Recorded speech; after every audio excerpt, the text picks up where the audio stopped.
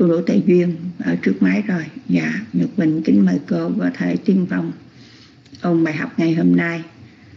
Dạ sa thú bằng tay cô tu nữ tài duyên. Dạ. Mến mời xích Trạng đông cô ấy minh à, cẩm vân nguyên tịnh. Còn vị nào nữa trong đạo tràng có thể đưa bàn tay xinh đẹp của mình lên nào dạ bây giờ thì nhật bình kính mời cô tu nữ tài duyên. Mở hàng dạ coi cô tôi này trên duyên mở hàng có đắt không ngàn.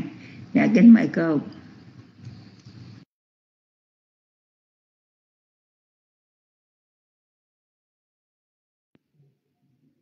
À, sa thú sa thú lan thai cảm ơn nhật quỳnh. Nam mô bích tha giá nam mô tham ma giá nam mô sang kha giá. Con thành kính đảnh lễ chư tôn đức tăng kính lễ thượng tọa minh hạnh kính lễ quý tu nữ và thân chào tất cả quý thiện nam tín nữ. Dạ, à, bây giờ tự nhiên xin tiên phong đọc bài kinh à, tiểu bộ. Dạ, cảm ơn Vinh Á. Iti Cá chương 3 ba pháp. Bài 91 Này các tỳ kheo, nghĩa này là nghề tận cùng trong các nghề nuôi sống, tức là đi bát khất thực. Này các tỳ kheo, danh từ nhiếc mắng ở trong đời lời nói rằng, ông là kẻ đi bác, với bác cầm tay. Ông đi khắp mọi nơi. Tuy vậy, chính nghề nuôi sống này được thiện gia nam tử chấp nhận.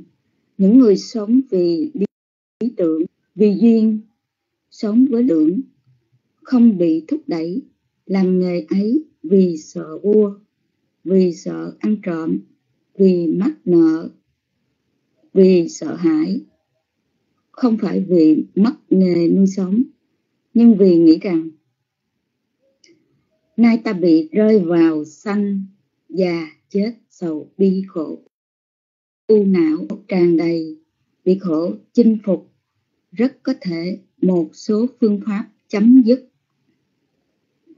Toàn bộ khổ uẩn này có thể trình này các tỳ kheo, thiện nam tử này xuất gia như vậy, tham ái trong các dục, với lòng tham sắc xảo, với tâm sân hận, ý tư duy nhiễm ác, thất niệm, không tỉnh giác, không định tĩnh, tâm tán loạn, với các căn.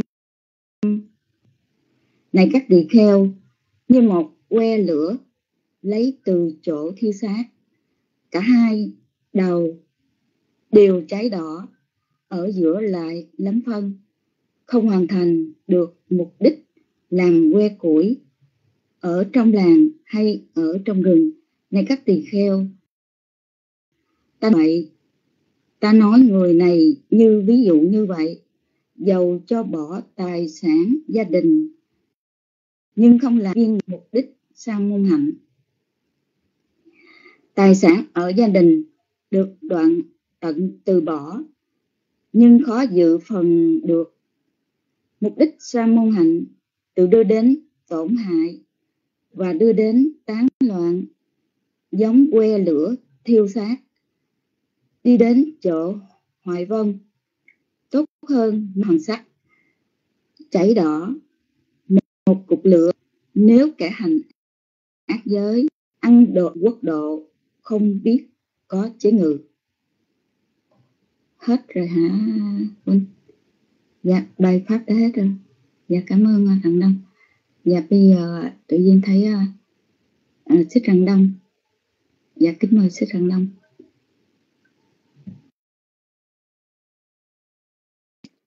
Ba thú cô tu nữ tự nhiên. Còn kính đảnh lễ ba ngôi tam bảo ân đức phật ân đức pháp và ân đức tăng con kính đảnh lễ chư tôn đức trong đạo tràng. Con kính đảnh lễ thượng tọa minh hạnh cô tu nữ tuệ duyên. Con kính chào đạo tràng. Sau đây con xin kính đọc uh, bài kinh tiểu bộ. Ý tí bút tá cá chương ba ba pháp phẩm 4 bài 91 La Mã. Này các tỷ kheo nghĩa này là nghề tận cùng trong các nghề nuôi sống tức là đi bát khắc thực này các tỷ kheo, danh từ. Nhiếc mắng ở trong đời là nói rằng ông là kẻ đi bát, giới bát, cầm tay ông mọi nơi. Tuy vậy, chính nghề nuôi sống này được các thiện gia nam tử chấp nhận. Những người sống vì lý tưởng, vì duyên sống với lý tưởng, không bị thúc đẩy làm nghề ấy vì sợ vua vì sợ ăn trộm, vì mắc nợ, vì sợ hãi, không phải vì mất nghề nuôi sống, nhưng vì nghĩ rằng nay ta bị rơi vào sanh già chết, sầu bi khổ u não, bị khổ tràn đầy, bị khổ chinh phục. Rất có thể một số phương pháp chấm dứt toàn bộ khổ quẩn này có thể trình bày này các tỷ kheo, thiện nam tử này xuất gia như vậy tham ái. Trong các dục với lòng tham sắc xảo với tâm sân hận, ý tư duy nhiễm ác, thất niệm không tỉnh giác, không định tĩnh, tâm tán loạn với các căn quan dại. Này các tỷ kheo, như một que lửa, lấy từ chỗ thiêu xác cả hai đầu đều cháy đỏ, ở giữa lại lắm phân, không hoàn thành được mục đích làm que củi ở trong làng hay ở trong rừng. Này các tỷ kheo, ta nói người này như ví dụ như vậy. Dầu cho bỏ tài sản gia đình, nhưng không làm viên mãn mục đích sa môn hạnh. Tài sản ở gia đình được đoạn tận từ bỏ, nhưng khó giữ phần được. Mục đích sa môn hạnh, tự đưa đến tổn hại và đưa đến tán loạn. Giống que lửa thiêu xác, đi đến ổ hoại dông. Tốt hơn nuốt hòn sắt, chảy đỏ một cục lửa. Nếu kẻ hành ác giới ăn đồ ăn quốc độ, không biết có chế ngự. Dạ từ bài đến đây đã hết kính cảm ơn huynh Vatana đã post bài kính cảm ơn quý vị cho biết tín hiệu nghe rõ sau đây kính mời cô cẩm Giang.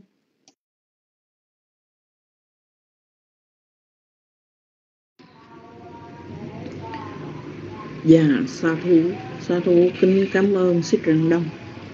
Nam mô Bụt Tha Giá, Nam mô Tham Ma Giá, Nam mô Sanh Kha Giá. Con kính hành lễ Đức Phật, con kính hành lễ Giáo Pháp, con kính hành lễ Đức Tăng, con kính hành lễ Thương Tọa Minh Hạnh. Cùng chư Tôn Đức, kính chào quý cô tu nữ cùng quý đạo hữu trong rung, con xin đọc bài.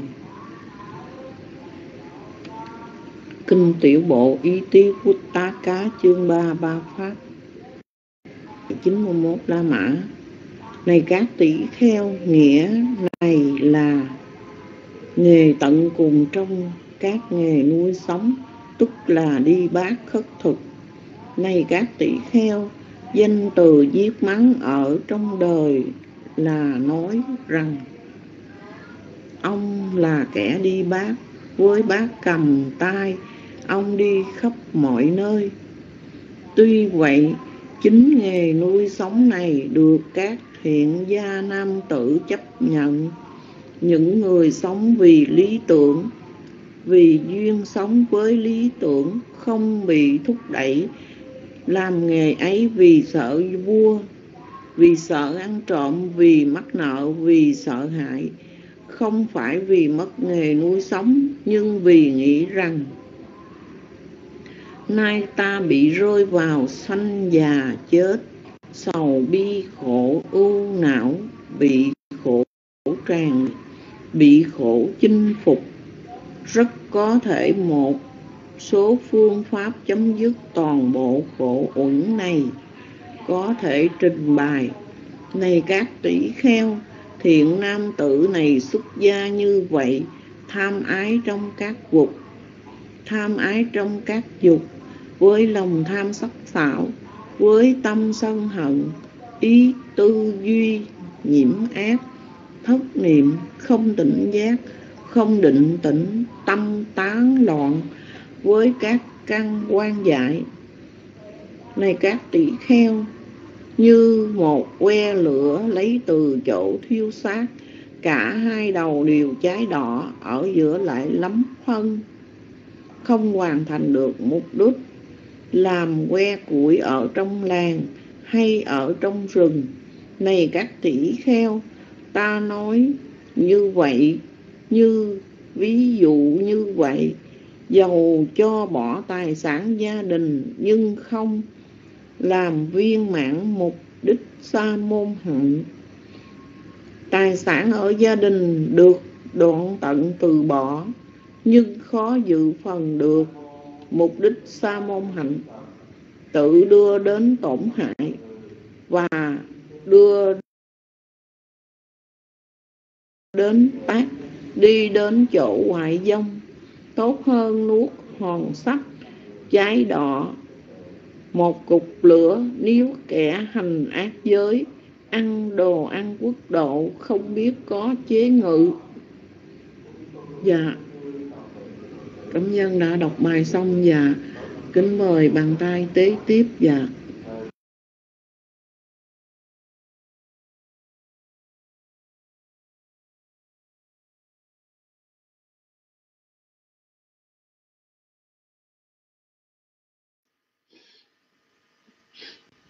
Dạ, Nam Mô Bích Tha Giá, Nam Mô Thanh Ma Giá, Nam Mô Sang Kha Giá. Con kính đảnh lễ ân đức chư Phật, kính đảnh lễ ân đức giáo Pháp, kính đảnh lễ ân đức chư Tăng.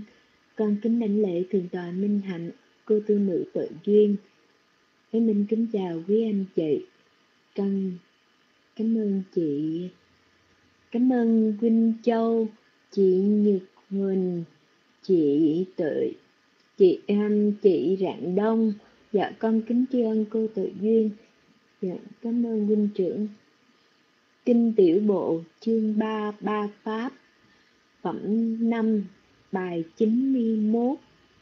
Này các tỳ kheo, nghĩa này là nghề tận cùng trong các nghề nuôi sống, tức là đi bát khất thực.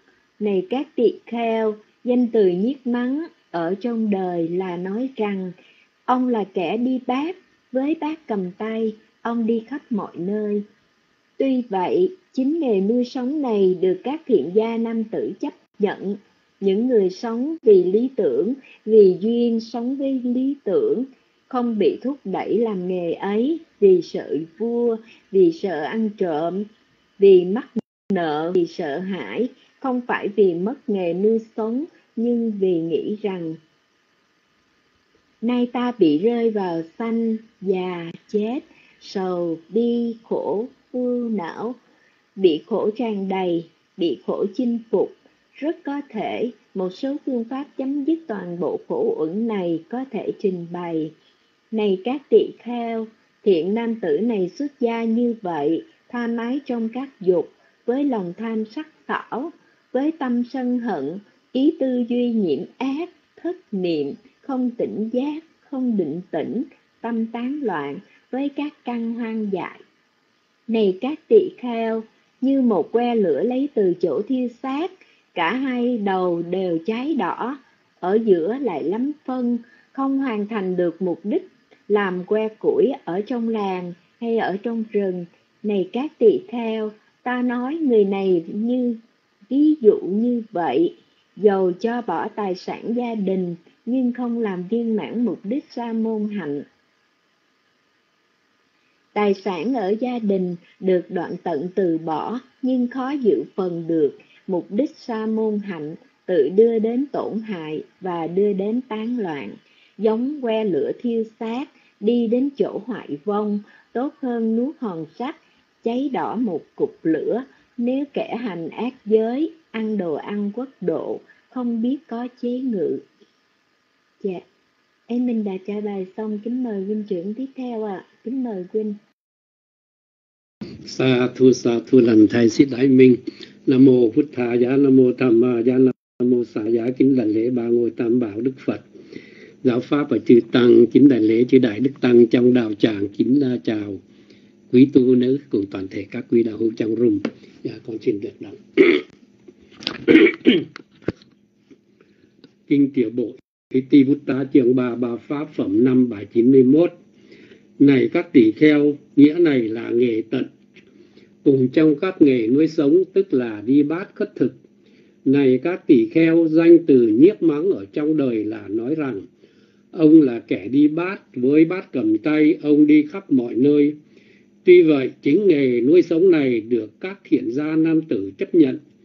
Những người sống vì lý tưởng, vì duyên sống với lý tưởng, không bị thúc đẩy làm nghề ấy vì sợ vua, vì sợ ăn trộm, vì mắc nợ, vì sợ hãi không phải vì mất nghề nuôi sống, nhưng vì nghĩ rằng nay ta bị rơi vào cảnh sanh già, chết sầu, bi khổ ưu não, bị khổ tràn đầy, bị khổ chinh phục. Rất có thể một số phương pháp chấm dứt toàn bộ khổ uẩn này có thể trình bày. Này các tỷ kheo, thiện nam tử này xuất gia như vậy tham ái trong các dục với lòng sam sắc sảo, với tâm sân hận, ý tư duy nhiễm ác thất niệm, không tỉnh giác, không định tính, tâm tán loạn với các căn hoang dại. Này các tỷ kheo, như một que lửa lấy từ chỗ thiêu xác, cả hai đầu đều cháy đỏ ở giữa lại lắm phân. Không hoàn thành được mục đích làm que củi ở trong làng hay ở trong rừng. Này các tỷ kheo, ta nói người này như ví dụ như vậy. Giàu cho cả tài sản gia gia đình không làm viên mãn mục đích sa môn hạnh. Tài sản ở gia đình được đoạn tận từ bỏ, nhưng không dự phần được. Mục đích sa môn hạnh tự đưa đến tổn hại và đưa đến tán loạn, giống que lửa thiêu xác đi đến chỗ hoại vong. Tốt hơn nuốt hòn sắt, cháy đỏ một cục lửa. Nếu kẻ hành ác giới, ăn đồ ăn quốc độ không biết có chế ngự yeah. Atana vừa đặt xong kinh tiểu bộ yeah. bây giờ không còn vị nào yeah. Atana xin được kính mời xích nha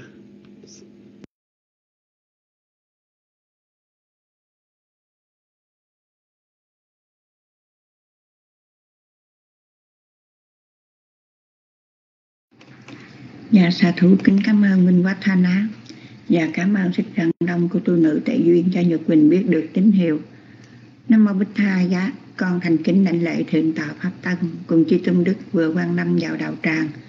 Nhục mình kính lễ quý bà, quý cô, tu nữ Mình kính chào đạo tràng. Và con xin đọc bài tiểu bộ kinh. Và cảm ơn Minh Quá thanh á cho bài học. Kinh tiểu bộ Itivuttaka chương 3 ba pháp, phẩm 5 bài 91 Này các tỳ kheo, Nghĩa này là nghề tận cùng trong các nghề nuôi sống. Tức là đi bác khất thực. Này các tỳ kheo, Danh từ, nhiếc mắng ở trong đời là nói rằng, là kẻ đi bác với bác cầm tay, ông đi khắp mọi nơi. Tuy vậy chính nghề nuôi sống này được các thiện gia nam tử chấp nhận. Những người sống vì lý tưởng, vì duyên sống ở lý tưởng không bị thúc đẩy làm nghề ấy vì sợ vua vì sợ ăn trộm, vì sợ mắc nợ, vì sợ hãi không phải, vì mất nghề nuôi sống, nhưng vì nghĩ rằng, nay ta bị rơi vào sanh già chết, sầu, bi, khổ ưu não, bị khổ tràn đầy, bị khổ chinh phục. Rất có thể, một số phương pháp chấm dứt toàn bộ khổ vững này có thể trình bày này các tỳ kheo, thiện năm tử này xuất gia như vậy, tham hái trong các dục với lòng tham sắc sảo, với tâm sân hận, ý tư duy nhiễm ác, thất niệm không tỉnh giác, không định tĩnh, tâm tán loạn với các căn hoang dại. Này các tỳ kheo, như một que lửa lấy từ chỗ thiêu xác, cả hai đầu đều cháy bỏ, ở giữa lại lắm phân vâng không hoàn thành được mục đích vì làm que củi trong làng hay trong rừng. Hay ở trong rừng. Này các tỳ kheo, ta nói người này ví như vậy. Ta nói người này như ví dụ ví dụ như vậy dầu cho bỏ tài sản, gia đình nhưng không làm viên mãn mục đích sa môn hạnh. Tài sản ở gia đình được đoạn tận từ bỏ, nhưng khó dự phần đoạn tận từ bỏ.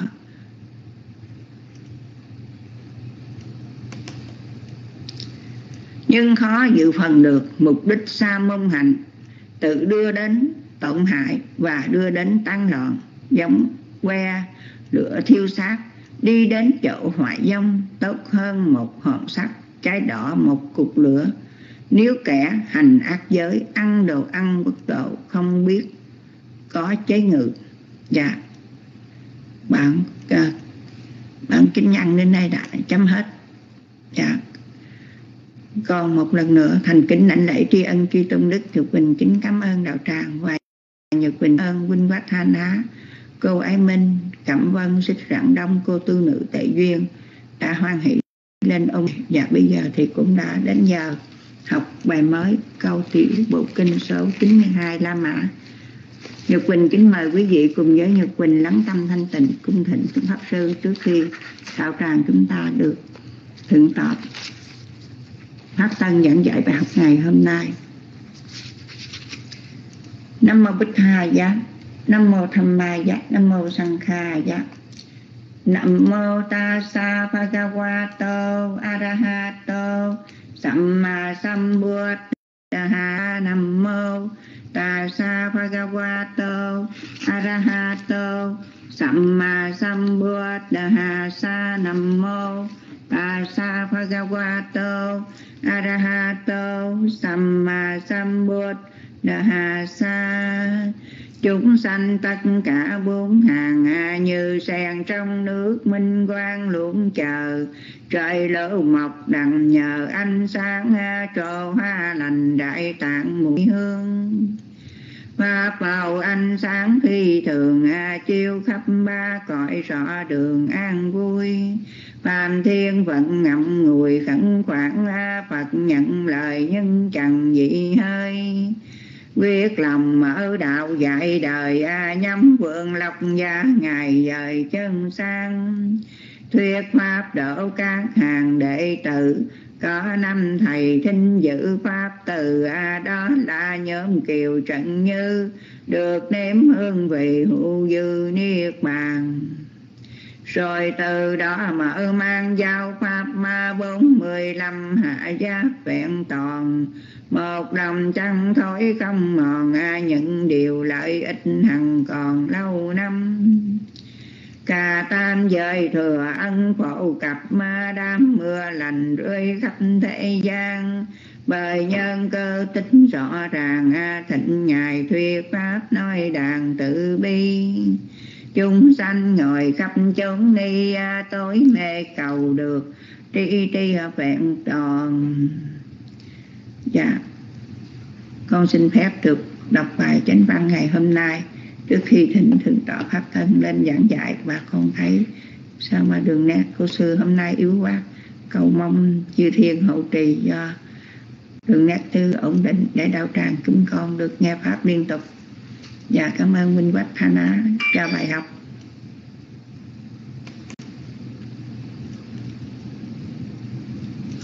Bài học hôm nay, Kinh Tiểu Bộ Itiputtaka chương 3 Ba Pháp. Phẩm 5 Bài 92 La Mã.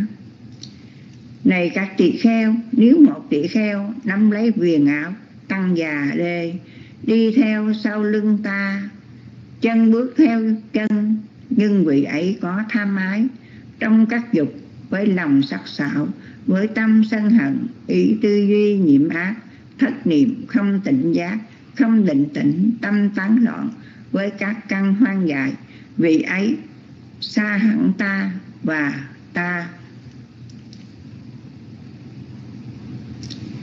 Ta xa vị ấy. Vì cỡ sao? Này các tỳ kheo tỳ kheo ấy không thấy pháp, do không thấy pháp nên không thấy ta. Này, các tỳ kheo, nếu tỳ kheo sống xa đến một trăm do từng, và vị ấy không có tham ái trong các dục, với lòng tham không sắc sảo, tâm không sân hận, ý tư duy không nhiễm ác, chánh niệm tỉnh giác định tĩnh nhất tâm, các căn được chế ngự vị ấy gần hẳn ta và ta gần vị ấy, vì cỡ sao? Này các tỳ kheo tỳ kheo ấy, thấy pháp, do thấy pháp nên thấy ta.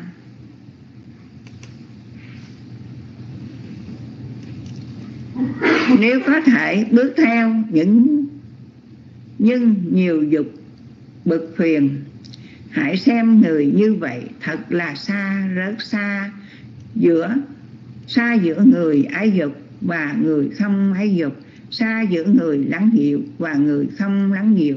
Xa giữa người tham ái và người đã trừ ái. Sau khi thắng trí pháp, bậc hiền trí biết pháp. Như ao không gió thổi, không dao động tình trị hãy xem người như vậy thật là rất, thật là gần, rất gần gần giữa người không ái. Và người không có ái, gần giữa người lắng dịu và người được lắng dịu gần giữa người không tham và người trừ tham ái. Nam Mô Bích Tha Giá. Dạ bản kính dân đến đây đã chấm hết. Con xin thay mặt đại chúng trong rung Thành kính định lễ cung thỉnh thượng tọa Pháp Tăng. Từ bi thuyết giảng bài học ngày hôm nay, Được bình kính chúc đầu tràng một buổi học Pháp được an vui tiến hóa. Con kính dân mất đến sư, Không biết sư có nghe được âm thanh con không? Dạ con kính dân mất đến sư ạ. à.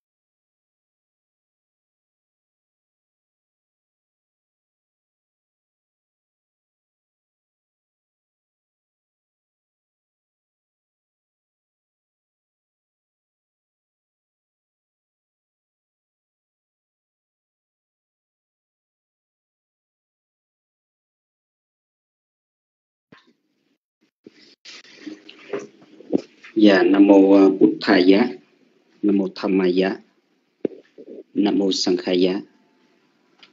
À, con à, thành kính đảnh lễ ân Đức Tam Bảo, à, Đức Phật, Giáo Pháp và Chư Tăng. Kính đảnh lễ Chư Tôn Đức Tăng đang hiện diện trong râm. Kính chào quý cô tu nữ và thân chào quý thiện nam tín nữ. À, kính bạch Chư Tăng, kính thưa quý vị, hôm nay chúng ta học bài số 92 La Mã Ờ, phần chánh văn thì ờ, chúng ta đã nghe đọc qua rồi. Ờ, để trước khi giảng cái bài học hôm nay đó, thì chúng tôi cùng quý vị hướng về tam bảo, đảnh lễ tóm tắt. Arahang samma sambuddho buddhang phakawan tăng apiwa đi mí nhất tâm đảnh lễ đức thế tôn, bậc a la hán chánh đẳng giác, đấng thiên nhân sư bi trí vẹn toàn. Swakato Phakawata Thammo Thammang Namasami. Nhất tâm đảnh lễ giáo pháp do Đức Thế Tôn khéo thuyết giảng. Đạo chuyển mê khai ngộ, Ly khổ đắc lạc thiết thực hiện tiền vượt thời gian. Subhatibano Phakawato Sawakasanko Sankhang Nasama Namasami. Nhất tâm đảnh lễ chư hiện thánh tăng. Các ngài đã đắc quả thánh hoặc còn phàm là mô phạm của quần sinh là phước điền của chư thiên và nhân loại. Nguyện cầu mang tam bảo gia hộ cho chư tôn đức tăng quý cô tu nữ quý thiện nam tính nữ luôn được sự an lạc. Nam mô bút tha giá. Dạ kính bạch uh, chư tăng. Uh, kính thưa quý vị uh, trong nội dung của cái bài uh, kinh hôm nay đó thì uh, cái phần chánh văn chúng ta đã nghe đọc giờ chúng tôi xin lặp lại thôi. À, lặp lại vài cái ý chính. Tức là đức phật ngài nói dạy cho các chị tỳ kheo á, nếu một người mà nắm giữ lấy viền áo tăng và lê theo sau lưng của ngài à, chân bước theo ngài à, nhưng vì ấy à, tâm là còn tham ái còn tham dục lòng sân hận à, là tư duy ô nhiễm à, tư duy à, về ác bất thiện đó và thất niệm không tỉnh giác chánh định tĩnh tán loạn tâm. Thì à, dù ấy vị ấy dù có có gần ta thì đi nữa thì vị ấy cũng là xa ta. À, gần ở đây là về mặt không gian à, nhưng mà vị ấy xa ta. À, và đức phật ngài nói rằng là một vị tỳ kheo do do do không thấy pháp á cho nên là người đó không thể thấy được bậc à, thì đây là một trong những cái điều mà chúng ta gặp ở đây. Có thể nói rằng chúng ta thường được gọi đó là tam bảo phật bảo à, uh, buddha ratana ừ, pháp bảo thamma ratana và sang tăng bảo là sankha ratana tức là ba cái ngôi quý ba cái ngôi quý um, có một điều như thế này nè. Ở trong kinh trường bộ thì ờ, đức phật có dạy một cái câu à, đức phật ngài dạy rằng vô tham ăn bát sa tí sô tham ăn bát sa tí có nghĩa là ai thấy pháp thì người ấy thấy ta. Ngược lại ai thấy ta thì người đó thấy pháp là như vậy. Chúng tôi nhớ hồi xưa ở trong ờ, trong học viện á, à, có cho một cái đề thi thì lấy cái câu này à, lấy cái câu này. Tức là vô tham mang bát tí tham mang bát tí. Tức là ai thấy được pháp thì người ấy thấy được như lai. Ngược lại đó là ai thấy như lai thì người đó thấy pháp. Thì bây giờ đó chúng ta sẽ quay lại trong quá trình truyền thừa của phật giáo cho đến ngày hôm nay. À, cho đến ngày hôm nay. Thì à, phải nói một điều đó là đức phật ngài nói ở đây đó là nếu mà dù mình có có nắm theo cái chéo y của ngài y tăng và lê của ngài đi nữa đi theo sau lưng của ngài bước chân theo từng bước chân của ngài nhưng mà tâm của mình à, tâm của một cái vị đệ tử của đức phật đó thì à, vị đó còn tha mái còn tham ái, còn sân hận à, còn ô nhiễm còn thất niệm không tỉnh giác đó à, không định tĩnh đó, tâm tán loạn thì cái người đó dù có ở gần đi nữa thì cũng như ở xa ở xa. Cho nên là cái điều này chúng ta thấy là một điều đó là Đức Phật dạy cho chúng ta một cái đời sống tu tập. Bởi vì à, Đức Phật ngài thường khẳng định là cái vị mà mang lại cái sự lợi ích cho đa số cho phần đông. Mang lại cái sự lợi ích cho chư thiên và loài người. Vị ấy là ai? Vị ấy chính là như lai bậc chánh đẳng chánh giác. Cho nên chúng ta hiểu cái tôn ý của đức phật á. Cái tôn ý của đức phật á là đức phật dạy cho chúng ta là xuất hiện ở đời để đức phật dạy cho chúng ta tu tập. Chứ không phải là à, chúng ta lễ lại ngày đâu. À, chúng ta lễ ngày lại ngày là chúng ta kính đức phật thôi. À, kính đức phật bởi đức phật ngài có bi đức à, có trí đức và có tịnh đức. Cho nên khi à, chúng ta lại đó, là chúng ta kính bởi cái đức đó, đức phật có những cái đức đó. Cho nên chúng ta lại phật. Ừ. Sự thật ra là không phải là chúng ta phải ngày nay đó chúng ta thấy rằng là mặc dù là cái cái hình thức ờ, chúng ta thấy rằng đi tới đâu thì cũng gặp những cái chùa lớn ha rồi những cái tháp lớn ở nơi đó thờ tượng Phật à, và thờ xá lợi của Phật. Nhất là chúng ta đi đến à, các cái nước quốc giáo đó thì chúng ta đi đi tới đâu cũng gặp là là là là là, là tháp thờ xá lợi Phật hoặc là hình tượng của Đức Phật ví dụ như chúng ta qua Sri Lanka thì chúng ta gặp ở ngã ba đường hay có tượng Phật hoặc là có tháp thờ xá lợi Phật. Rồi à, chúng ta đi qua Myanmar thì chúng ta cũng gặp những cái tháp thờ xá lợi Phật. Tương tự như vậy ở Thái Lan cũng vậy. Cho nên là, rồi ở Việt Nam chúng ta thì chúng ta đi tới đâu? Chúng ta ít gặp tháp, nhưng mà chúng ta thường là gặp chùa là nhiều. À, gặp chùa là nhiều. Ở đó, trong cái ngôi chùa đó là thờ Phật thường là chúng ta giống như là các sư mà đi đến đâu á mà muốn uh, khai sơn cái vùng đó để lập một cái chùa đó, thì trước tiên là làm cái chỗ để thờ Phật cái đó ừ, thờ Phật. À, tức là có mái che à, đơn giản hay là cầu kỳ thì trước tiên đó là nói đơn giản là phải có cái mái che nắng che mưa để tôn thờ cái tượng Phật. À, nó là như vậy. Cho nên chúng ta có nhiều cái hình thức để chúng ta tôn thờ Đức Phật. Tôn thờ Đức Phật. Người ta có thể làm bằng tượng Phật, bằng bê tông, cốt thép, bằng đồng, bằng gỗ, bằng đá ờ, bằng đất sét, vân vân. Bất cứ cái chất liệu gì mà chúng ta ờ, chúng ta tạc thành một cái tượng, xem như là tượng Phật, thì chúng ta chú nguyện, rồi xem như đó là tượng Phật, rồi chúng ta đảnh lễ. Đảnh lễ thì cái việc mà rồi chúng ta xây chùa à, hoặc là xây tháp để thờ xá lợi Phật hoặc là chúng ta thay xây chùa để là à, thờ Phật rồi nơi là tín ngưỡng của của, của, của, của tứ chúng của chúng ta. Tứ chúng tức là tỳ kheo cận sự tỳ kheo ni cận sự nam và cận sự nữ. Ngày xưa thì có cận tỳ kheo ni đó. Ngày nay thì à, chúng ta có thể được xem như là các vị tu nữ các vị nữ tu.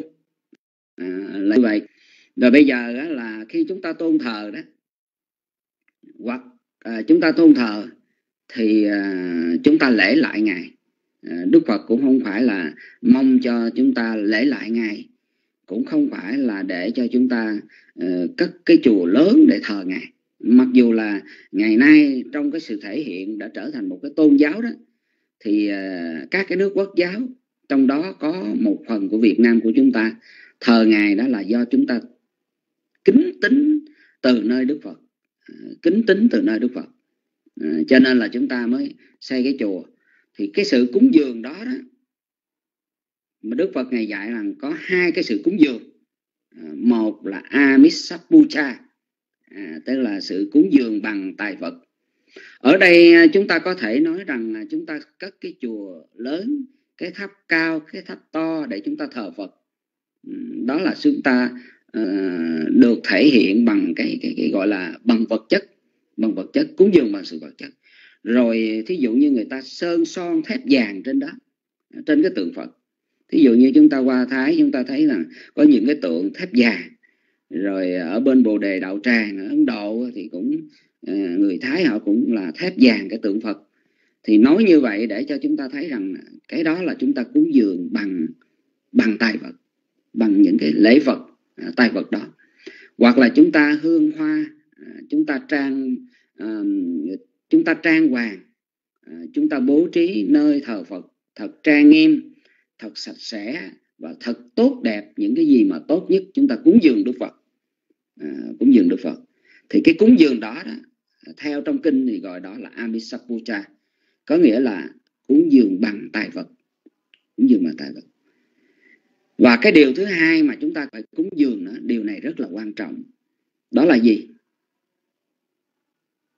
Patipati Puja à, trong kinh gọi là Patipati Puja có nghĩa là cúng dường bằng sự thực hành.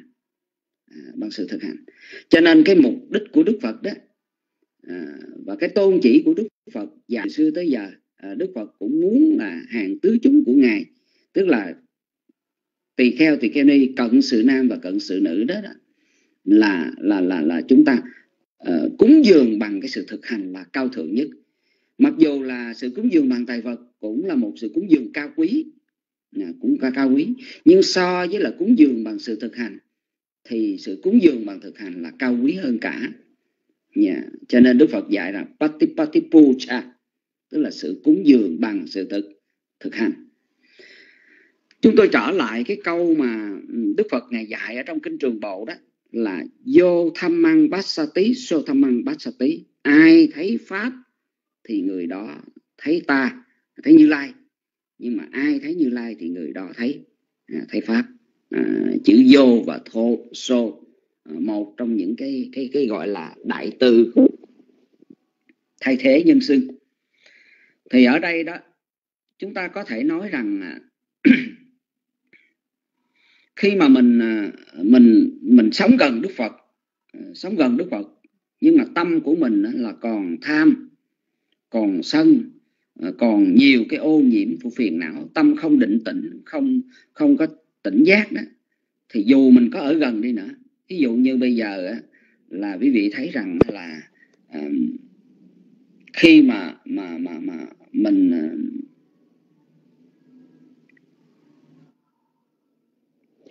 à, một cái người mà thấy đó đó tức là mình thấy Đức Phật qua cái hình tượng hoặc là mình à, thấy cái hình tượng à, Đức Phật rồi mình thấy Đức Phật có 32 tướng tốt rồi 80 vẻ đẹp mình đi theo mình ngắm cũng không có cái lợi ích gì. À, bởi vì chúng ta nhớ ở trong kinh Pháp Cú có có một vị tỳ kheo tên là Quắc Kha Lý. Ừ. Quá Quắc Kha Lý xuất gia theo Đức Phật. Thời gian thì uh, xuất gia theo Đức Phật gian vậy rồi uh, là cũng uh, trước khi xuất gia thì thấy cái hình tướng của Đức Phật đẹp. 32 tướng tốt 80 vẻ đẹp. Mà chúng ta biết rằng sở dĩ Đức Phật có 32 tướng tốt á, 80 vẻ đẹp đó là công và hạnh. Hay nói nói cách khác minh và hạnh của Đức Phật đã viên mãn cho nên là Ngài có được 32 tướng tốt đó. Ừ cái công phu tu tập của Ngài à, về các cái phước của phước cũng như là đức của Ngài được đầy đủ cho nên là Ngài có được 32 tướng tốt đó. Mà quát khá lý á, thì cái quát khá lý xuất gia theo là để ngắm nhìn cái hình ảnh của Đức Phật thôi. Yeah. ngắm nhìn thôi. À, đi theo Đức Phật đi đâu á, thì vị tỳ kheo này đi theo ngắm nhìn Đức Phật. À, cảm thấy vui rồi cũng thấy quan hỷ rồi. Rồi cái à, Đức Phật thì biết được cái tâm lý của của của của, của Quát Kha Lý thì cái Quát Kha Lý. Cho nên là Đức Phật cũng không có mãi mai quan tâm hay là hỏi han gì tới Quát Kha Lý hết á. À, một thời gian sau thì à, quá Quát Lý cảm thấy như mình là cái người mà uh, cái lòng tự ti sanh hơi lên cái lòng tự ti sanh lên. Cho nên là nghĩ rằng Đức Phật chẳng đối hoài gì tới mình hết á. Cho nên là quá Kha Lý mới uh, Ờ, nghĩ rằng Đức Phật không đối hoài gì tới mình. Cho nên Quát Lý buồn quá. Buồn quá mới là à, đi lên trên núi đó lại cái vách đá đó, đứng đó định gieo mình xuống dưới vực thẳm chết cho rồi. À, bởi vì trong một cái à, cái sự mong muốn trong một cái sự à, mơ ước hy vọng à, cuối cùng là bị thất vọng. Bởi vì Đức Phật hiểu được tâm lý của Quát Khả Lý là xuất gia là đi theo để mà mà, mà, mà nhắm nhìn Đức Phật thôi chứ không có tu tập gì hết chỉ nhìn à. à Đức Phật ngài mới hiểu được tâm lý đó cho nên là à, lúc mà Quát Khai Lý chuẩn bị mà gieo mình xuống dưới vực thẳm để mà quyên sinh cuộc sống đó thì Đức Phật ngài xuất hiện ngài mới nói là vừa rồi Quát Khả Lý trước đây đó trước khi ngươi xuất gia đó ta có nói với ngươi rằng là ngươi xuất gia rồi đi theo hơi nhầm nhắm hình ảnh của ta hay không? Hay là ngươi xuất gia theo là để học Phật pháp để rồi thực hành theo lời dạy của Thế Như Lai? À, à, khi mà Đức Phật hỏi Quát Khả Lý như vậy thì à, thì Kheo Quát Khả Lý trả lời rằng Đức Phật Đức Thế Tôn không có nói những điều đó. Tức là Đức Thế Tôn không có nói với Quát Khả Lý rằng là xuất gia để đi theo nhắm nhìn Đức Phật à, và cũng không phải là để tỏ ra cái, cái tướng tốt tướng đẹp gì để cho Quát Khá Lý nhìn. Mà chủ yếu là Quát Khá Lý xuất gia để học theo giáo pháp này thực hành theo giáo pháp này để được an vui để được lợi lạc. Và sau khi Đức Phật ngài nói gì Quát Khá Lý mới từ bỏ cái ý nghĩ gieo mình xuống vực tắm ừ. thì à, ở đây đó Đức Phật mới nói rằng là à, có thể nói rằng người nào thấy được pháp thì người đó thấy được Như Lai. À, mà người nào thấy Như Lai thì người đó thấy pháp. Như vậy giờ ta nói tới cái mặt về mặt không gian á thì dù chúng ta ở gần à, Đức Phật ở gần Đức Phật. Thí dụ như bây giờ nó gần á hay là thời gian á gần là thời kỳ Đức Phật chúng ta có mặt đi. Nhưng mà nếu chúng ta vô duyên chúng ta không có đến để hầu đảnh lễ Đức Phật ờ, không thực hành học hỏi theo lời dạy của Đức Phật. Không thực hành theo thì chúng ta cũng chẳng có lợi lạc gì hết. Ờ, cũng chẳng có lợi lạc gì hết. Đó là về mặt thời gian. Còn về mặt không gian á, bây giờ á, là chúng ta thấy rằng là ờ, dù chúng ta có ở gần đi nữa tức là ở trong chùa có thờ hình ảnh của Đức Phật đó nhưng mà tâm của chúng ta là chứa đầy rẫy những phiền não đầy rẫy những phiền não. Bây giờ nè tham dục sanh khởi sân hận sanh khởi rồi dục nhiễm sanh khởi thất niệm à, sanh khởi không không tránh không có tỉnh giác không có định tĩnh à, thì tâm rối loạn như vậy thì dù gần cũng như là xa. Bây giờ là chúng ta thấy rằng là, là một điều đó là khi mà nói rằng là dù mình ở đâu đi nữa nhưng mà tâm mình còn ô nhiễm của phiền não và Đức Phật ví dụ giống như là một cái khúc gỗ mà ố ướt đó. Thì dù chúng ta có mài như thế nào đi nữa chúng ta có cọ như thế nào nữa thì nó cũng không bao giờ phát lửa. Bởi vì tâm mình còn dục nhiễm. À, dục nhiễm. Tâm còn phiền não. À, cho nên dù chúng ta có ở gần đi nữa thì cũng như là xa thôi. À, ngồi lễ lại Phật đây nhưng mà lại nhớ cái gì đó? Nhớ đến dục tham dục nhớ đến sân hận ờ, nhớ đến cái này cái kia, tâm không định tĩnh được. Ờ, thì như vậy chúng ta dù có ở gần về mặt không gian ở đây đó, thì chúng ta cũng là ở xa ở xa. Nhưng mà ngược lại, dù chúng ta ở xa ờ, nhưng mà chúng ta thấy được cái pháp của Phật. Thấy được Phật. Chúng ta nhớ một điều đó là giáo pháp tác thành quả vị Phật mật mặt thì giác ngộ thành giáo pháp, giác giác ngộ giáo pháp. Đức ngộ đức Phật tìm ra cái nguyên lý, tìm ra những sự thật. Mà điển hình đó là bốn sự thật, đó là khổ, tập, diệt, đạo. Ừ, đức ngài tìm ra. Nhưng mà chính đức Phật cái ngài cũng là, ngài tìm, ngài giác ngộ, ngài tìm ra những nguyên lý, sự thật đó. Thì cũng chính ngài thực hành cái giáo pháp đó. Trong tứ đế, ngài thực hành về đạo đế đó mà ngài được trở thành một quả vị phật. À, cho nên thực hành pháp là để tác giáo pháp tác thành quả vị phật là như vậy. À, thì à, chúng ta nói một điều đó là ở đây đó ngoại trừ chư phật quá khứ thôi. Chư Phật quá khứ như là cá cú sanh thá câu ga cô na gamana rồi à, bá vân vân. Các vị Phật quá khứ ở trong quả địa cầu này đó thì uh, các ngài là giác ngộ về bốn sự thật này rồi. Còn với cái thời gian với một cái thời gian dài như vậy không có một vị Phật nào cho đến khi mà Đức Phật uh, Gautama của chúng ta giác ngộ thành Phật dưới cội cây Bồ đề đó thì thật sự là lúc đó ngài mới tìm ra cái nguyên lý tìm ra được cái sự thật đó. À, sự thật đó là nó nó ngàn đời nó không bao giờ mất.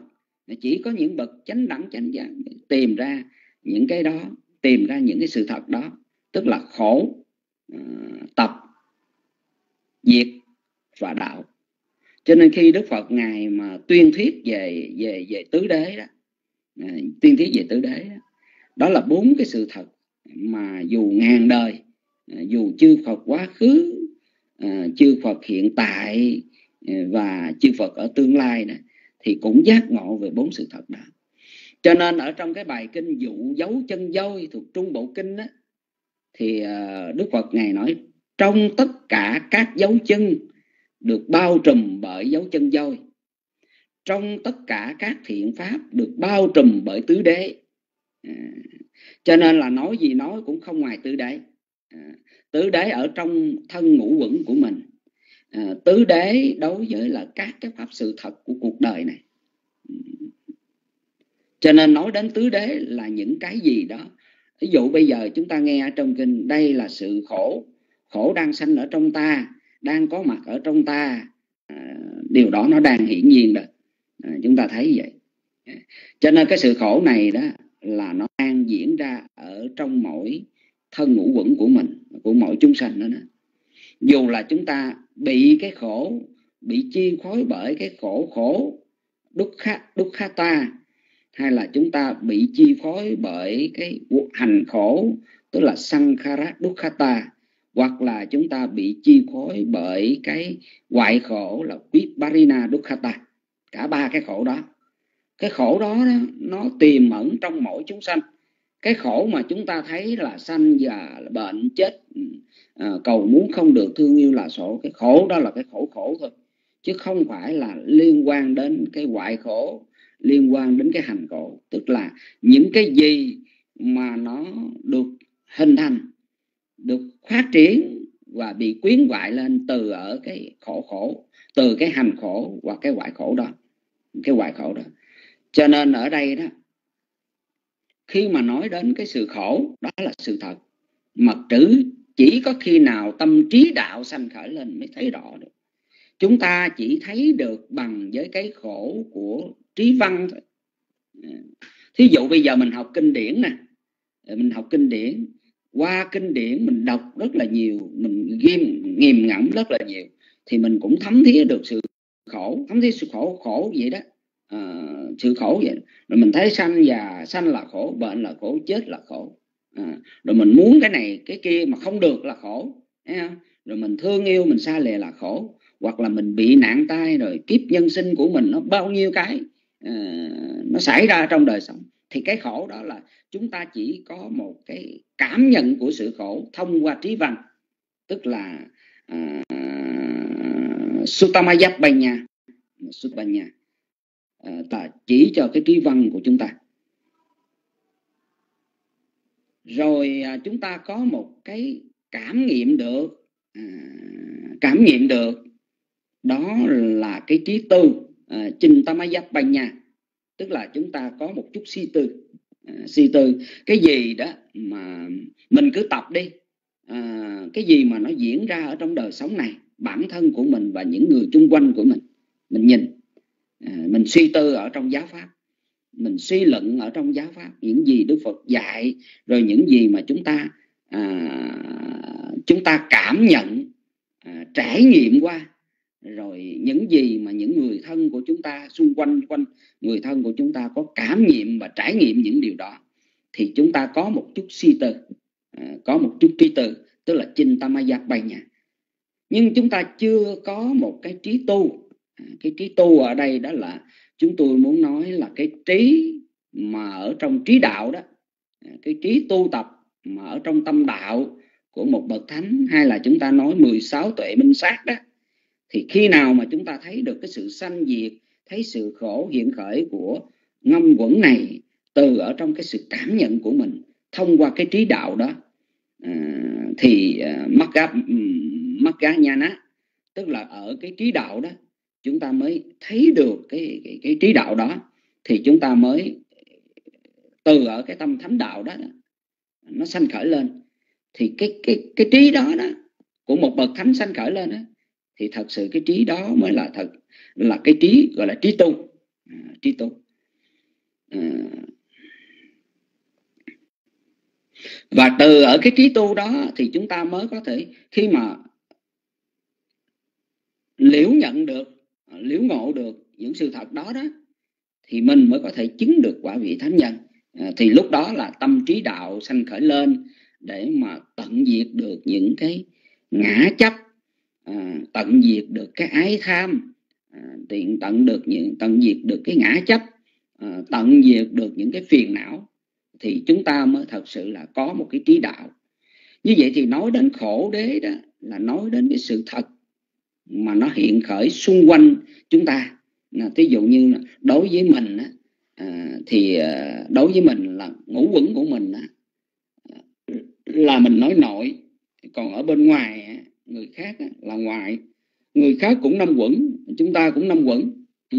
nếu chúng ta thấy như vậy đó là thấy thông qua bằng cái trí đạo ờ, bằng à, cái trí mà đối với cái người tu của chúng ta chúng ta chưa có chứng đạo được chưa chứng quả được thì chúng ta chút trí văn.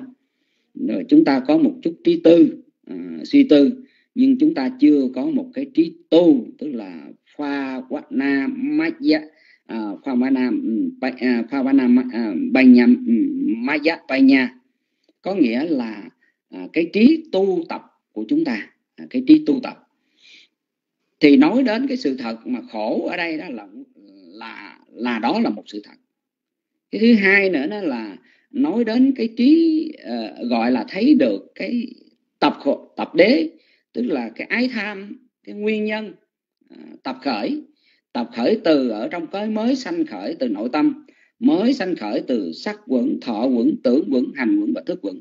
À, cái tập khởi của nó à, cái tập khởi. Mà cái tập khởi ở đây đó là được nói đến cái ái tham. Ái tham. Ái tham có mặt ở đâu thì có sự chấp thủ ở đó. Và ở đâu có sự chấp thủ có ái tham á, thì là khổ. Cho nên ở trong kinh văn mà mà mà ngày xá lợi phất ngày dạy đó là là a quýt cha cha tân ha cha ba ha tấp ba thăm á à, ngày xá lợi phất ngày dạy vậy. Có nghĩa là sao? Vô minh ờ, và và gì? Ờ, và vô minh và tham á là hai pháp cần đoạn đoạn trừ. A cha cha à, a cha cha tan ha cha y mê duê tham ma bà hà tập bạch à, ngày sáng lời phát ngày dạy vậy. Có nghĩa là vô minh tham ái là hai pháp cần đoạn trừ. Như vậy thì ở đâu có tập đế là tham ái thì ở đó có khổ đau. Bởi cái đó là cái nguồn cội của khổ đau. Ở đâu có tham ái là khổ đau. Mình thấy nè cái cõi người của mình cõi nhân loại của chúng ta đó là cõi trong các cái cõi dục nằm ở trong 11 cõi dục đó thôi. Chẳng qua là mình là cõi vui thôi. Cõi vui là so với là cõi khổ. Cho nên là mình vui. À, mình vui. À, vui hơn là cõi khổ. Nhưng mà rồi đó là um, chúng ta cũng phải chịu trong cái khổ đó thôi. À, trong cái khổ. Bởi vì chữ chính cái tham ái đó chính cái tham ái đó, do cái dục ái do cái sắc ái hay là có vô sắc ái hay là do dục ái hữu ái hay là phi hữu ái. Ở đây chúng ta nói đến cái là ái mà nó liên quan chấp thường kiến. À, tức là sát sát sát. À, thường kiến ở đây tức là sát sát tác đít thí. Ừ, tức là cái quan điểm uh, chấp thường chấp còn. Uh, bởi vì linh hồn hay bởi tự ngã hay bởi cái gì đó nó hằng hữu nó bất hoại uh, bất di bất dịch vân vân. Chúng ta chấp thường cái đó nó cũng không đúng nha rồi chúng ta chấp vô uh, tức là út chê đá đích thí tức là chấp đoạn đó chấp đoạn có nghĩa là có một số quan điểm có một số người cho rằng sau khi chết là hết. Không có cái gì hết không có sắc quẩn không có thọ quẩn tưởng quẩn hành quẩn. Không có một cái gì hiện hữu trên cuộc đời. Sống các bụi trở về với các bụi. À, nói như vậy để có nghĩa là cái người mà quan niệm rằng là chết là hết không có đời trước không có đời sau có luân hồi không có nghiệp báo không có quả của nghiệp thiện không có quả của nghiệp ác không có ân đức của cha mẹ thầy tổ của của của của, của tam bảo thì cái người đó quan niệm như vậy là phân quan niệm đoạn kiệt ừ, quan niệm đoạn kiệt cả hai cái chấp này đó đều được xem như là cái gọi là chấp thường và chấp đoạn. Mà mà mà trong trong kinh gọi đó là hữu ái và phi hữu ái. Hữu ái tức là chấp thường phi hữu ái là chấp đoạn. À, hiểu là như vậy. Cả hai cái đó thì ở đâu có ái thì đó có khổ đau. Cho nên là đức phật ngài nói về bốn cái sự thật đó. Trước tiên là ngài nói cái mối nhân quả giữa nhân và quả. Nhân tức là nói đến tập đế tức là tham ái. Nhưng mà quả tức là nói đến cái khổ đế tức là cái kết quả mà do tham ái đó nó có bây giờ ngài nói đến cái phạm trù ở đây nó không phải là thuộc về nhân quả nữa đạo đế và diệt đế nó không phải là nhân quả. Bởi nó vượt ra khỏi, khỏi cái quả. À, bởi vì nhân quả là còn đối đãi. Còn cái phạm trù của phạm trù của của của của đạo đế và và và và diệt đế đạo đế nó chẳng qua là một phương tiện hay là một phương pháp để hành trì đưa đến thôi. À, rồi cái chấm dứt khổ là diệt đế khi nào không có cái sự hiện hữu của của của của tham sân si nữa uh, của pháp bất thiện nữa thì cái người đó họ mới là uh, chấm dứt được khổ đau. Hay khi nào không có sự hiện hữu của năm quẩn nữa thì không có khổ uh, không có khổ. Mà muốn được như vậy đó chỉ có thực hành con đường đạo đế thôi. Uh, mà như chúng ta đã biết thực hành bát chánh đạo đó. Bát chánh đạo hay là chúng ta nói thực hành con đường đạo đế hay nói cách khác tức là nói thực hành tứ niệm xứ. Cũng vậy thôi. À, tứ niệm xứ cũng là ở trong bát chánh đạo. Hay là ngũ căn ngũ lực hay là thất giác chi cũng đều ở trong đó. À, đều trong đó. Nhưng mà nói là mình thực hành con đường đạo đế tức là phương tiện hay là phương phương pháp để dẫn đến chấm dứt khổ đau đó là tịch diệt tịch tịnh của niết bàn. À, tịch tịnh của niết bàn. Ở đây không còn phải là phạm trù của nhân quả nữa mà vượt ra khỏi phạm trù của nhân quả. Nhớ rằng diệt đế không phải là quả à, quả của của, của của của của đạo đế mà là đạo đế là phương pháp hay là ờ, phương pháp hay là điều kiện để đưa đến chấm dứt sanh tử luân hồi chứ không phải là à, đạo đế là nhân mà diệt đế là quả. À, chúng ta lưu ý vậy. Như vậy thì ở trong kinh á Đức Phật có dạy như thế này nè. Đức Phật có dạy là khổ đế là pháp mà chúng ta cần phải biết cái biết này cũng quằn qua cái trí văn ừ. và cái trí văn ừ. hay là à, qua cái trí tư à, hoặc là qua cái trí tu của chính mình à, qua cái trí tu của chúng mình thì Đức Phật này nó khổ đế này là pháp cần phải biết do vậy trong kinh mới nói rằng là ai thấy được khổ thì đồng nghĩa là vị ấy thấy được luôn diệt và đạo luôn. À. cái khổ này đó là mình nói thấy đồng nghĩa là thấy luôn. Tập diệt và đạo đó thì có nghĩa là nói là cái tâm trí đạo sanh khởi lên. Còn chúng ta thấy khổ qua cái trí văn thôi chứ chúng ta cũng hoặc là có một chút nào đó ở trong cái trí tư. À, tức là chúng ta nhờ suy tư suy luận mà chúng ta hiểu được cái lời dạy của Đức Phật uh, liên quan đến cái đời sống luân hồi của mình. À, như vậy như vậy thì ở đây đó là Đức Phật ngài nói rằng cái người mà dù ở xa đi nữa nhưng mà hiểu được điều đó thấy được điều đó. Giống như trong kinh pháp cú Đức Phật dạy rằng vị tỷ kheo mến pháp si tư pháp tâm tư thường niệm chánh pháp sẽ không rời bỏ chánh pháp. Ừ, chúng ta hiểu gì? Vị tỷ kheo mến pháp si tư pháp tâm tư niệm chánh pháp sẽ không rời bỏ chánh pháp. Như vậy thì trước tiên là mình quan hỷ với cái, cái pháp mà mình mình học và hiểu đó. Mình học hiểu đó. Rồi mình thường xuyên suy tư lời dạy của đức phật. À, suy tư lời dạy của đức phật. Chúng ta suy gẫm với hoàn cảnh của chính chính chúng ta rồi với những chúng sanh xung quanh à, liên quan với cái lời dạy của đức phật.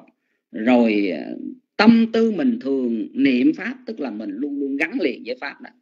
À, gắn liền với pháp đó thì người đó sẽ không rời bỏ chánh pháp. Là như vậy.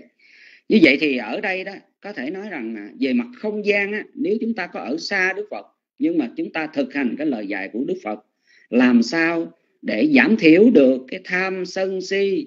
Để rồi tâm của chúng ta có định tĩnh tâm chúng ta có chánh niệm tỉnh giác à, tâm chúng ta không tán loạn thì dù hoàn cảnh nào đi nữa thì chúng ta cũng gắn với Phật à, gần với Phật à, gần với Phật gần với Phật.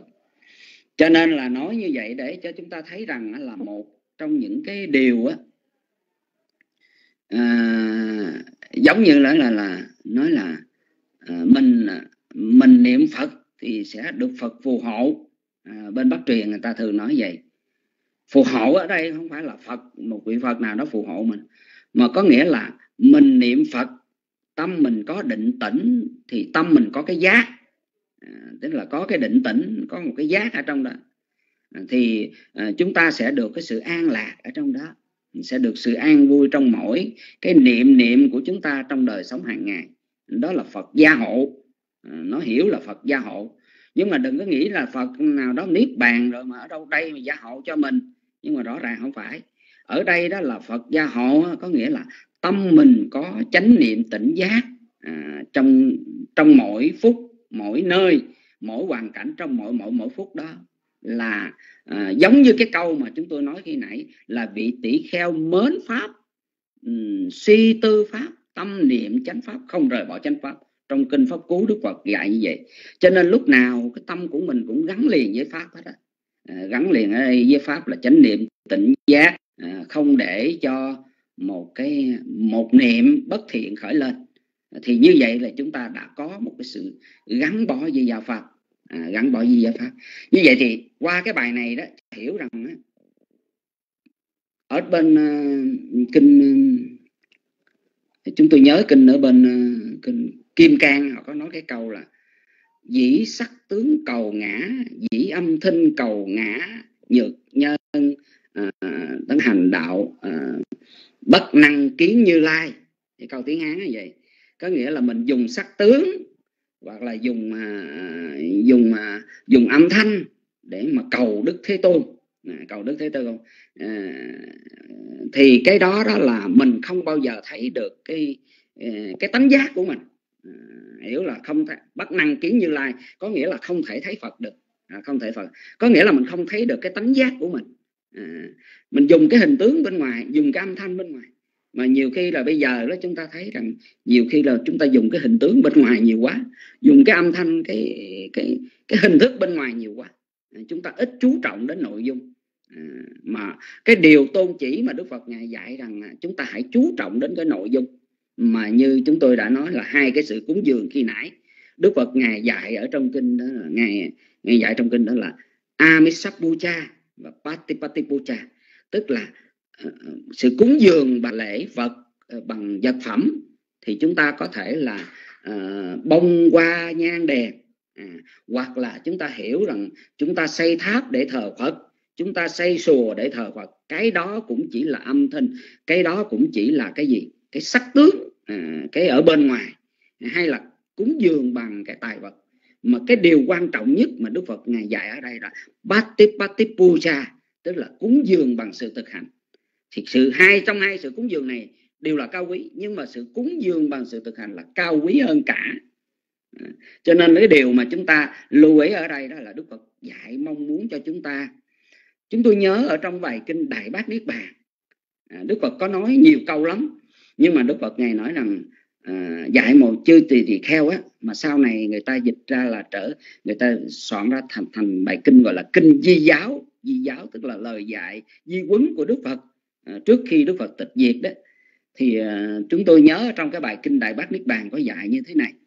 Đức Phật ngài nói là này chư tỳ kheo hữu vi là vô thường. Các thầy hãy cố gắng tinh tấn à, nỗ lực như lai chỉ là một đấng bậc đạo sư.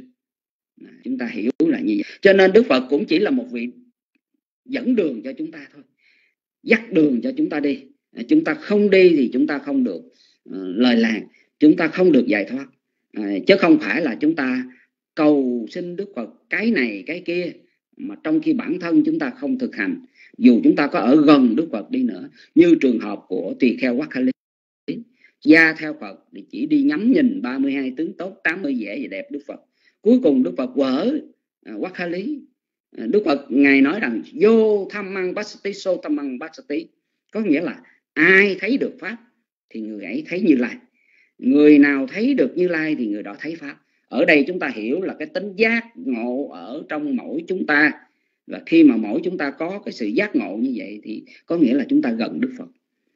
Vì vậy cho nên chúng ta quay lại ở trong kinh điển Bali đó, thì thường là Đức Phật thường là nói đến thường là ở trong hội chúng đông người hay hoặc là ít người thì Đức Phật thường nói như vậy nè. Thường là Đức Phật xác định cho một vị tỳ kheo nào chứng quả vị thánh nhân thì Đức Phật nghe nói nè vị tỳ kheo ấy là con của Như Lai. À, cho nên đó ngày nay chúng ta nói là chúng ta là đệ tử của Đức Phật thì nói miễn cưỡng. Hay là chúng ta nói là Phật tử là con của Phật. À, thì cũng là miễn cưỡng.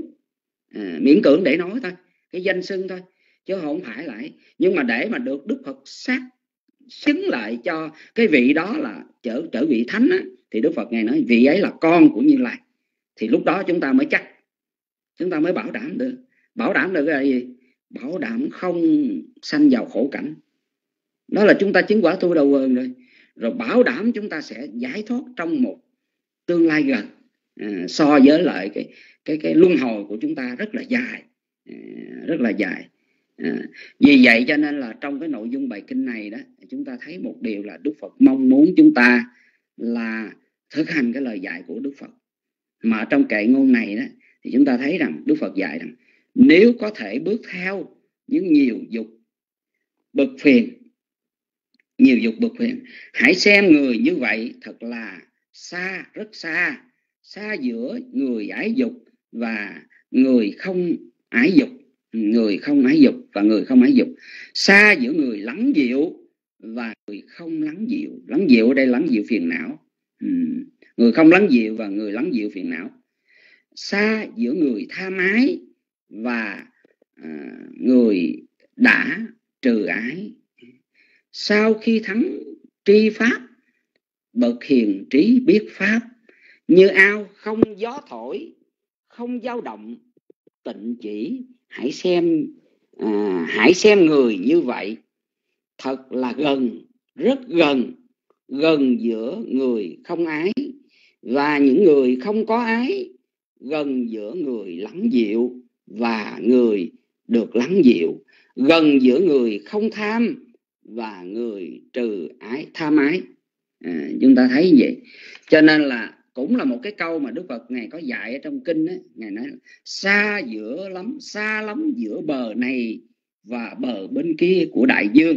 Cũng vậy xa lắm giữa thiện pháp và ác pháp ừ, chúng ta lưu ý vậy. Chứ không có thể nào nói là thiện pháp nó lẫn lộn đó. À, ác pháp tăng trưởng thì à, thiện pháp nó bị đẩy luôn ngược lại mà chúng ta thực hành làm sao để rồi thiện pháp được tăng trưởng thì ác pháp sẽ bị đẩy lùi. À, bị đẩy lùi là như vậy.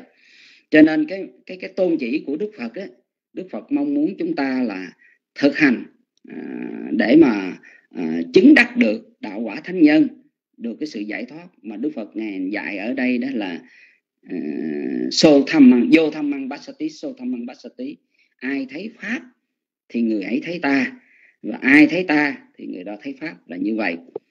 Chúng tôi xin được uh, dứt lời cái bài giảng ở đây. Mặc dù cũng còn 10 phút nữa mới hết giờ uh, nhưng mà chúng tôi uh, chia sẻ bấy nhiêu cái thời gian uh, với cái nội dung của bài giảng hôm nay.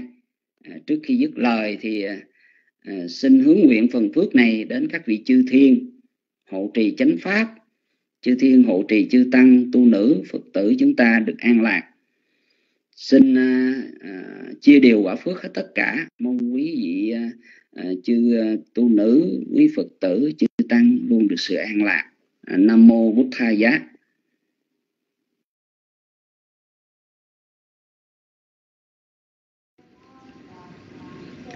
Dạ, sa thủ, sa thủ, chúng con kính tri ân thượng tọa Pháp Tân đã giảng bài học ngày hôm nay cho chúng con nghe hiểu rõ để cố gắng học hành theo cho được sự lợi ích. Và chúng con kính tri ân thượng tọa. Và con kính thỉnh thượng tọa minh hạnh chúc phúc cho rung chúng con được trọn vẹn phước báo. Và con kính dân mít đến sư.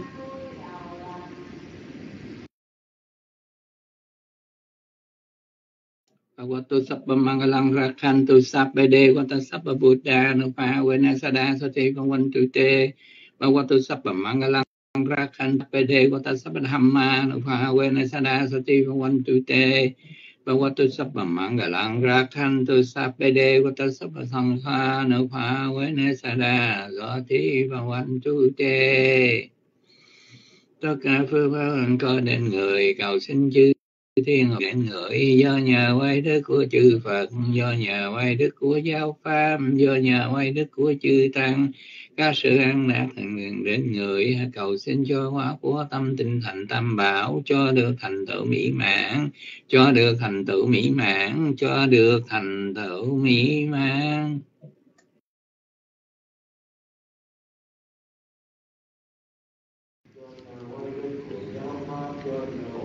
Dạ, sa thú, sa thú lành thai, chúng con kính tri ân. Thượng tọa Pháp Tân, Thượng tọa Minh Hạnh Cùng chư Tôn Đức đã vào rung chứng minh cho chúng con được thọ trì quy giới, ôn bài và học Pháp. Và chúng con kính tri ân chư Đại Đức Tăng. Kính mời quý Phật tử cùng cảm dân hồi hướng.